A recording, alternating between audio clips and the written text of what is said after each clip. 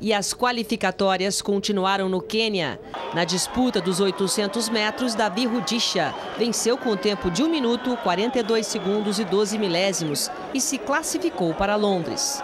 Nos 1.500 metros, Asbel Kiprop, atual campeão olímpico na modalidade, já é presença certa nos Jogos, mas deixou a desejar na prova e ficou apenas na terceira posição. Silas Kiplagat foi o primeiro e Nixon Chipseba o segundo. A bicampeã mundial Vivian Cheruiyot dominou os 5 mil metros e com a marca de 16 minutos, 8 segundos e 8 milésimos, cravou o nome dela nas Olimpíadas. Além dela, a segunda colocada, Sally Kipiego, também conseguiu índice. Pamela Jelimo, medalhista de ouro em Pequim na prova dos 800 metros, foi a mais rápida na pista e fechou com 1 minuto, 58 segundos e 48 milésimos.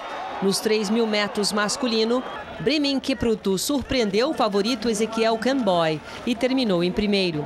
Ainda faltam 33 dias para os Jogos Olímpicos e mais qualificatórias serão realizadas.